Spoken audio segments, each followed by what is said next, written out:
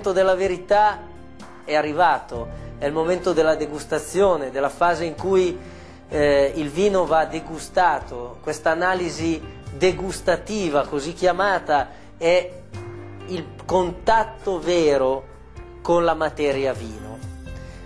È con la lingua che noi scopriamo i sapori del vino. Nella parte profonda, centrale della lingua, avremo il gusto in risalto le papille gustative della nostra lingua ci faranno sentire il sapore amaro del vino.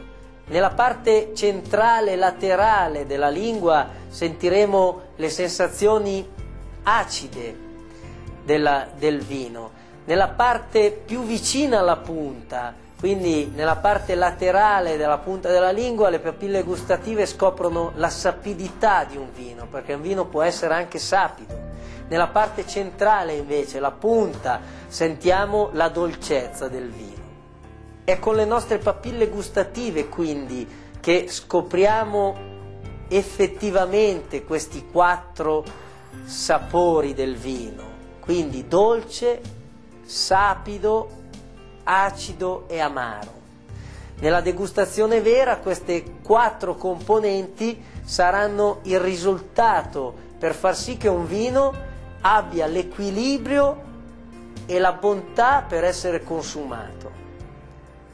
Questa è un'analisi molto tecnica, in realtà il vino deve piacere e deve essere consumato con semplicità. I sapori del vino veri si sentono comunque in un determinato modo. La degustazione avviene in due momenti. Il primo momento è quello del primo sorso, quindi del sorso in cui il vino viene messo in bocca per pulire la nostra bocca e per preparare le nostre papille gustative. Nel secondo sorso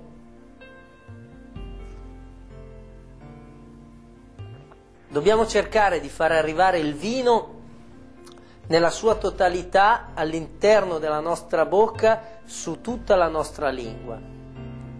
Questo momento è un momento anche riflessivo, noi dobbiamo concentrarci nel momento in cui degustiamo un vino. Questa concentrazione passa dalla lingua, dalla nostra, dal naso e dal cervello.